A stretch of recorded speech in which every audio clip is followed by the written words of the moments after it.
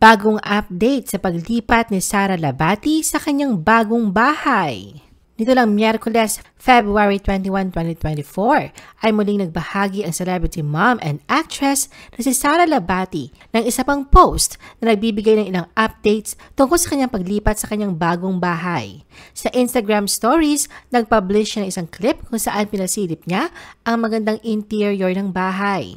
Nagsulat din siya ng on-screen caption kung saan ibinahagi niya sa kanyang mga followers ang kanyang agenda para sa araw na yon na kinabibilangan ng pag-aayos sa mga kahon, pag-unpack at pag-o-organize ng kanyang space.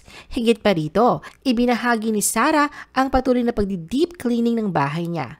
Mababasa sa caption, Today's Agenda 1. Fix as much boxes as possible. Unpack and organize. 2. House deep cleaning.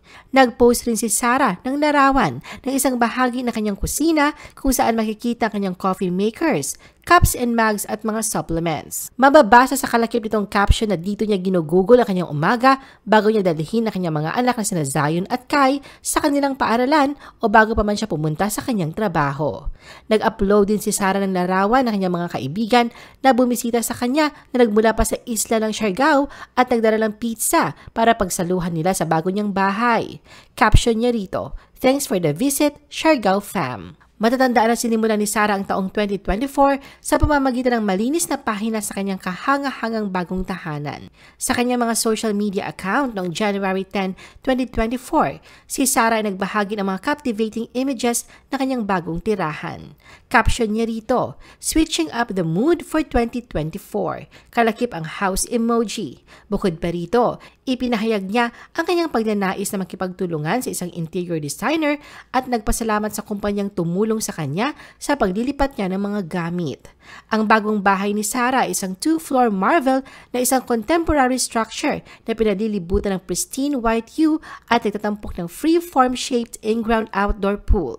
Ang larawan ng labas ng bahay na kuha sa gabi ay nagtatampok ng isang Mediterranean aesthetic at nagpapaalala sa mga lugar na natatanaw ng araw at coastal settings. Makikita sa pangalawang larawan na ipinost ni Sarah ang kanyang amang si Abdel Labati na nakatayo sa labas ng kanyang bagong bahay at malapit sa pool na nakasuot ng komportabling pambahay na damit. Sa pagpasok sa loob ng maluwag na tirahan, makikita ang marble flooring na sumasakop sa ground floor habang ang isang mezzanine floor naman ay nagpapaganda at nagpapa-enhance sa open design nito na nagpapahintulot sa mga nakatira rito at mga bisita na magkaroon ng magandang tanawin ng bahay mula itaas hanggang ibaba ng walang hadlang. Natuwa ang mga celebrity friends ni Sarah, pati na rin ang kanyang mga fans at followers sa matapang na hakbang na ito na nagpapahiwatig ng panibagong simula. Noong ding January 2024 ay nilinaw ni Sarah ang mga chismis tungkol sa kanyang relasyon sa kanyang ex-husband na si Richard Gutierrez. Sa isang exclusive interview, sinabi ni Sarah na okay sila ni Richard at maayos din ang kanyang kalagayan. Masaya raw siya at grateful. Magandang panahon din daw yun para pagtuunan niya ng pansin ang kanyang sarili. Sinabi rin ni Sarah na siya ay isang taong mas gusto ang tumanggap ng mga bagay na may kalmadong disposisyon. I-post ang inyong comments at reaction sa baba. At huwag kalimutan na i-like at i-share ang video na ito. Gusto mo pa ba ng ibang showbiz videos? Panoorin ang aming iba pang top viewed videos. Para sa aming mga YouTube viewers, pumunta lang sa description ng video na ito o i-click ang link sa itaas ng screen. Para naman sa mga Facebook viewers, ay maaari ninyong hanapin ang mga link sa comment section ng video. I-follow nyo din kami sa Facebook at mag-subscribe sa aming YouTube channel. Thanks for watching!